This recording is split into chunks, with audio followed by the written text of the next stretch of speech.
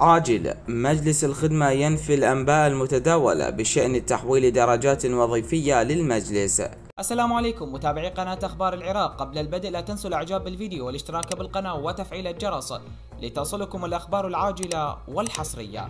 نفى الناطق الرسمي لمجلس الخدمة العامة الاتحادي الأستاذ وسام اللهيبي الأخبار التي تم تداولها في وكالات الأنباء ووسائل التواصل الاجتماعي بشأن قيام بعض الوزارات بإرسال درجاتها الوظيفية الشاغرة إلى مجلس الخدمة لغرض إعلانها كفرص للتوظيف وبصدده أوضح اللهيبي أولا أن المادة 12 من قانون الموازنة العامة الاتحادية لسنة 2021 قد بينت الموقف التشريعي لملف التوظيف بجميع ما شملته من فقرات والمتمثلة في إيقاف التعيينات في الدولة. كما أنها حذفت كل الدرجات الوظيفية الناتجة عن حركة الملاك في جميع الوزارات والدوائر الحكومية وأوقفت التوظيف بصفة عقود في مؤسسات الدولة كافة.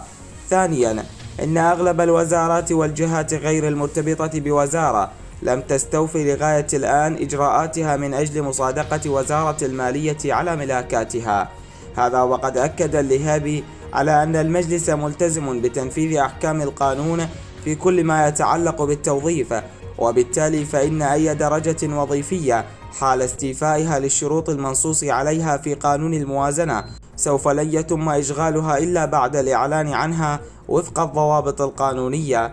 ولن يتم الاختيار من بين المتقدمين لإشغالها إلا وفق المعايير الموضوعية التي أقرها المجلس. وبدوره رجع عدم نشر المعلومات المتعلقة بملف التوظيف إلا بعد الرجوع إلى مجلس الخدمة قبل نشرها.